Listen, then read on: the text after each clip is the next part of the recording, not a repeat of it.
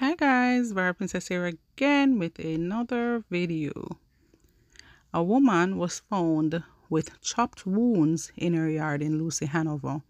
She has only been identified by as Ferron, a 23 years old security guard who was employed to Nets Security Company in Lucea. Reports are that she was from the Cold Spring community, which is also in Hanover. She was residing at a premises along Fort Charlotte Drive in Lucea. It was reported that res residents stumbled upon the body and called the police. On arrival of the lawmen, it was discovered that she was chopped multiple times all over her body. It was suspected that she was attacked inside of her house by unknown assailants and chased into her yard and chopped to death. My viewers and my subscribers, May her soul rest in peace.